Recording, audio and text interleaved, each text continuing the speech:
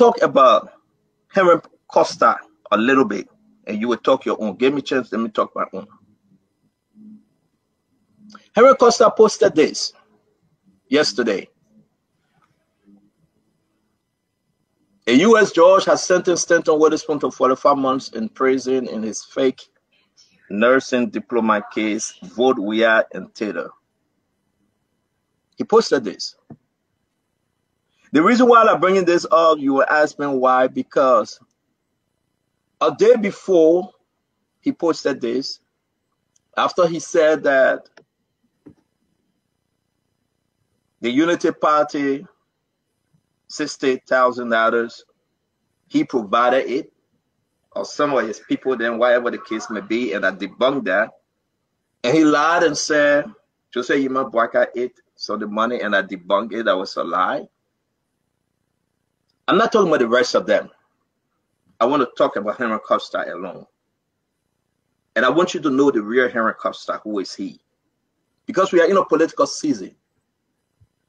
We're going to pause on relationship and friendship, and we're going to talk about the issue for the Liberian people to understand. So forgive me let me do this. And after he said that, he reached out to me. When he said that, Henry Costa reached out to me. He sent this thing to me yesterday. He posted this message yesterday, right? Let me correct. Because everybody said, yes, Stanton will go to jail for 41 months, which is wrong. I'm sorry, the reporters that CDC said maybe they couldn't speak English or understand English. So Henry Costa ran with the story. My own friend Rodney Sieh put it on on his paper, Front Page Africa. He ran with it. But I'm not going to talk about Ronnie Sieh because that's not my business. Let me focus on Henry Costa. And at the end of the day, this is what happened. He posted this. He ran with their story, their talking point. Prior to yesterday, this is what Henry Costa sent me, Minister Kamara. On Thursday, there you go, it's right there. You see my phone here. After he said we went back and forth, on Thursday, Henry Costa sent me this message saying he loved to show it on his phone to stream it. Let me show mine like this before they say that screenshot. I hope you guys able to see it. If not, that's okay. It's right there. He sent me the message. On Thursday, Henry said, Having learned, my brother, having you learned enough from how I was weakly treated by people I did and sacrificed so much for, my brother, don't let these ungrateful years come between you and the people you had had a good relationship with. Remember that, my brother. I sincerely wish you well. This is a man that will wish me well on Thursday. This is a man. I want you guys to understand this. And I want you to know the real Henry Pedro Costa. This is Henry Costa that was wishing me well. After him, I said went back and forth because he lied and said he provided 60,000. He lied and said that Joseph Boakai ate it. And that was a lie because I have the messages. But this is Henry Pedro Costa sending me a wishing well on Thursday. I'm going to put it up again. It's right there. On Tuesday, thank you, Tuesday. On Tuesday, he said this to me I wish you well. Then yesterday, he posted this.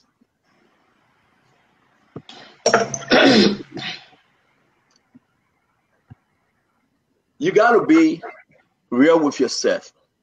You have to tell the Liberian people the truth. You got to tell them what you stand for. You got to tell them who you are and what you believe in. We have to be sincere to our fellow Liberians. You cannot call me in the night, send me messages, and go on social media and denigrate me. You cannot say I'm your friend, I'm your brother.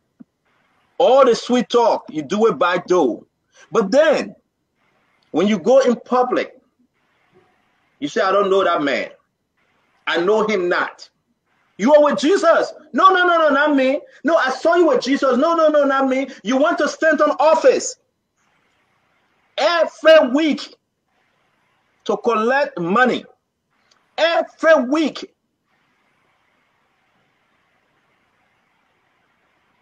But then you posting stuff and say no. My office had all video cameras, rings. When you appear to the door, we get your video. When you sit in my office, we get the video. You guys know about ring and blink. I have everything. I have all the videos. Should I go down the road to tell people that to play some of the messages? Come on, guys. Should I tell the Liberians, or maybe Costa need to tell the Liberians, saying he want to be fake? How much money every month he was receiving that I was paying him every month?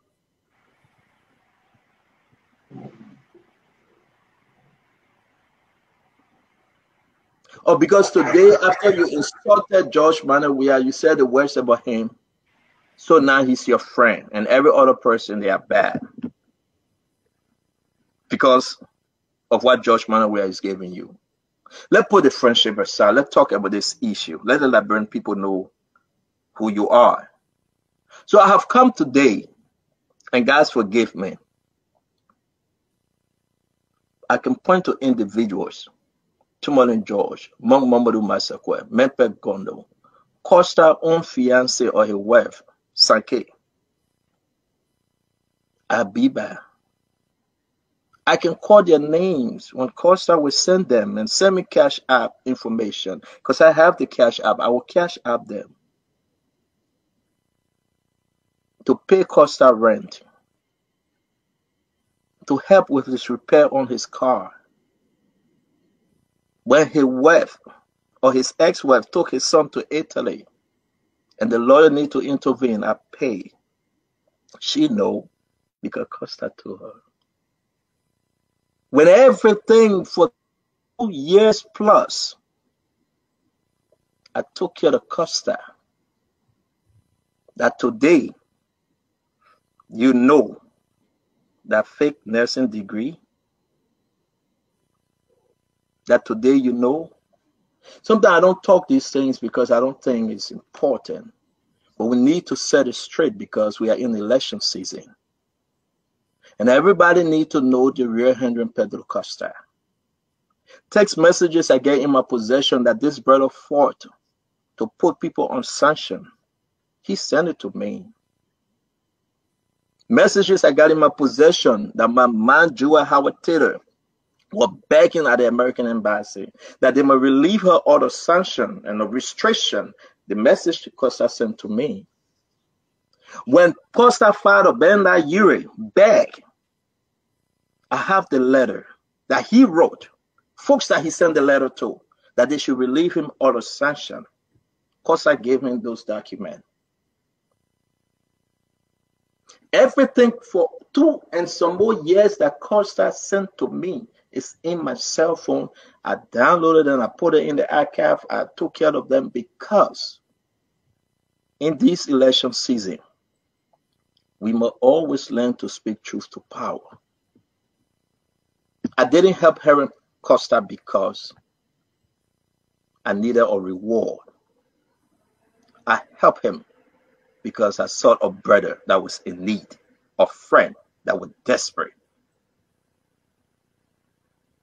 When they were trying to put Henry Costa out from his apartment when he was moving to the new building, he came to Maine.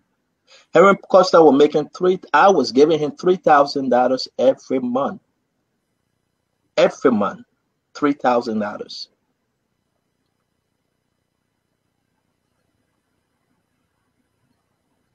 You can do that to a friend. Let's talk the politics. You cannot call me a day before wishing me well, and the next day you're posting something fake. You can't do that.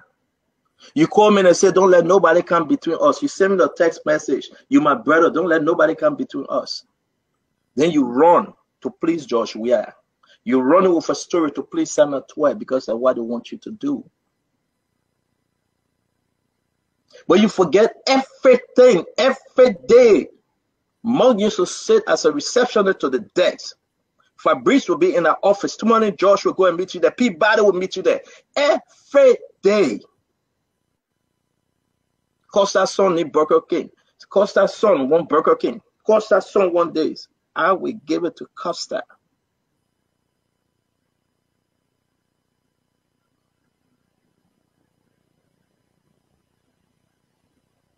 Not a thing that a brother ever wanted. I never provided. I did it because I knew that he was in need.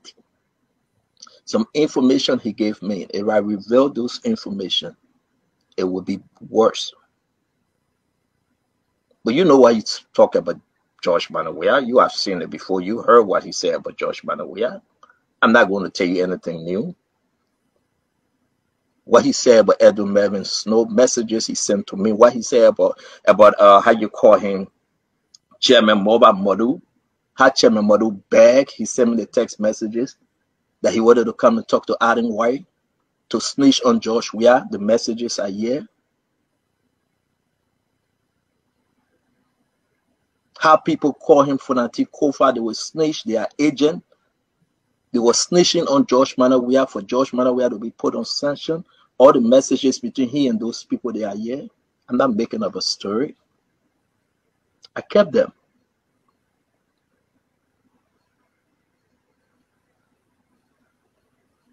Why would you do these things? For small money, Costa? I got more information. If I choose to reveal them, choose to send it out, I don't think that own, your own job we will even see you or Jefferson Koijee.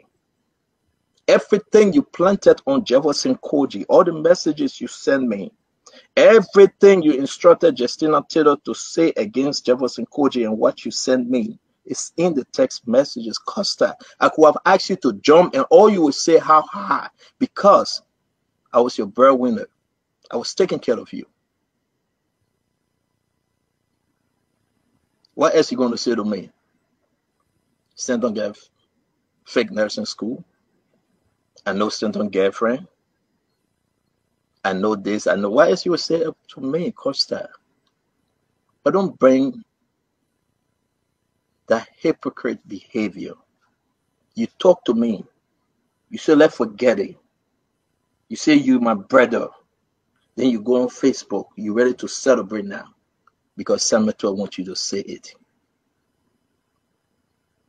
Is this the same Costa? I will end on this one because you guys got to talk. But is this the same Costa that yet insulting George Manneh Weah today? Let's start playing some of the episode, the insult he gave to George Manneh Weah, and then the Liberian people see him for who he is. And understand that the only reason he's doing this thing, hanging out with Calasco, they don't even trust him. It's because of the little money they gave him. We got to pray for Costa, folks. Before he commits suicide, we got to pray for him. You guys that pray for me, you pray for Costa. I will play this video. I will give you guys a chance to respond because this is important. This is the man that lied on Joseph Nyuma Boakai. This is the man that said he was taking care of Joseph Nyuma Boakai, but I will tell you how Costa used to work. In Costa's own words. That today because you go put your wear hat on, you think your wear forget when you're causing his man, causing his pa, causing his brother, causing his son, causing his wife. You think your wear forget? You think he will forgive you when you're causing Jefferson Koijee, when you're causing everyone? I care less about Jefferson Koijee. You think they're happy with you because Senator gave you small money? Let's play some of his clip. Let's go back in history. Let's go back and play some of these things. Let the Liberian people hear and understand the real Henry Pedro Costa. It's nothing personal. It's election season, folks.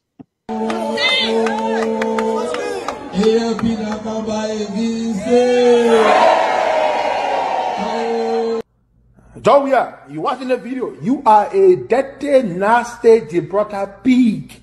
P-I-G. If you don't know how to spell pig, P-I-G, pig. That's what you are. A dirty, nasty, sleazy scum of the earth, Gibraltar pig, who will steal.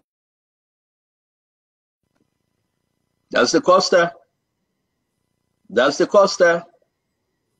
That's the man causing the president, the one that he begged to endorse, the one that he begged to, to go back to. I'm Henry Costa, a Liberian talk show host and political activist. Doesn't matter how you voted the first round. But now, in this second round, you must vote for peace and stability. We cannot afford to go back to refugee camps. And so, we must vote against the CDC, a party that has shown to present nothing, no ideas, just a reminder of the old days. As you walk into that booth on election day, think about those we lost to the same kind of evil and stop it in its tracks. Fellow Liberians, these are the people that expect to get a second term in. They son of my swine, they heat on. He is such an idiot that he doesn't even have the confidence to stand up and tell the people what is happening in the country, what he's do, what, what, what he's doing about uh, the, the bad economy, the issue of increase, the, the increased wave of rape and sexual uh, uh, sexual violence in the country. He has said absolutely nothing.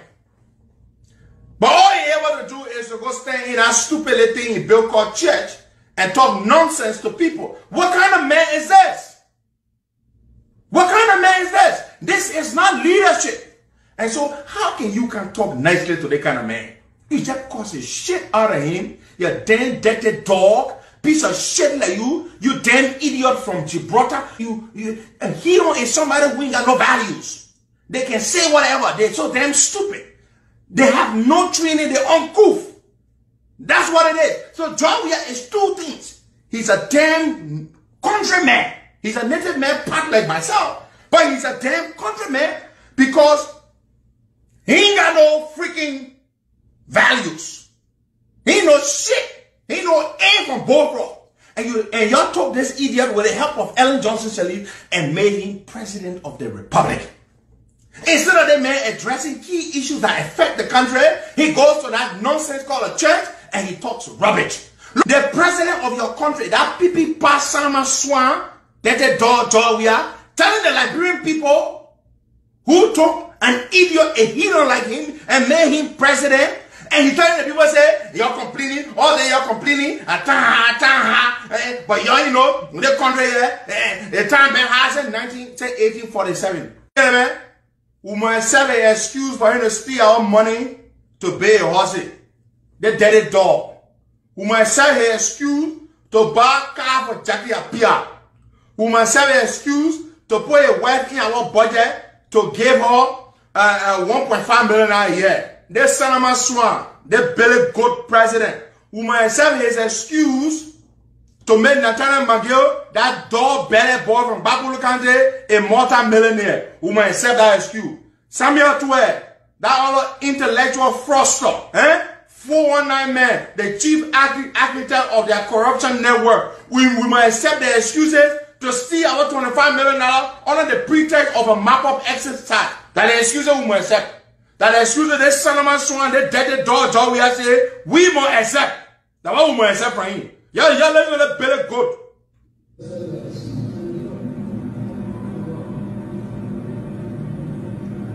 Nigeria is one of the most beautiful countries in the world. Yeah, I travel the world. I live in the best city in the world. Yeah, I travel the world. I live in the best city in the world. Saying I know shit. Eh? You travel the world. You've interacted with some of the most civilized people in the world. Say you're still their country, a Gibraltar pig.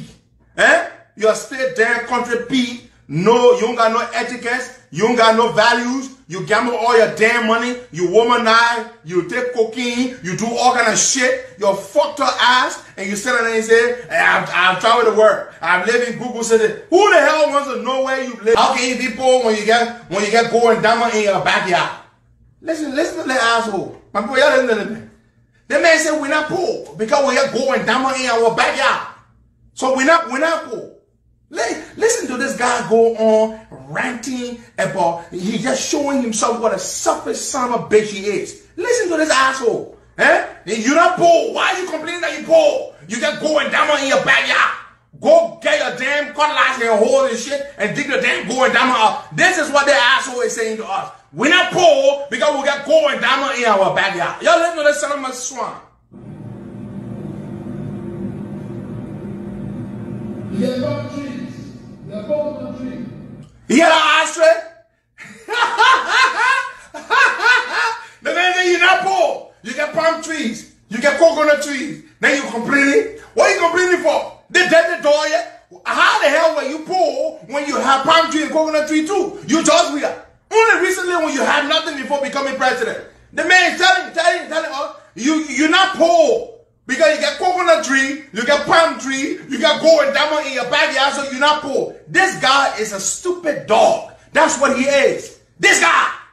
I ain't putting no I, I'm not eating, I'm not eating cosmetic size, size in it. And now I say, tell your children to go away from this live podcast because I won't cuss the guy in the public domain where people can hear And I won't cuss it to myself because I myself yeah. And not for me, it's for you to hear So that tens of thousands of people can watch the video so they can hear. This man is telling the Liberian people who are catching shit that they not poor because they got they got coconut tree and they got palm tree and they got go and diamond in the backyard. So the Napo, listen to this. Is it that? You hear me? He said, then you say nothing, you say you're poor. Got coconut tree, you got palm tree. ah, look at, look at that belly good.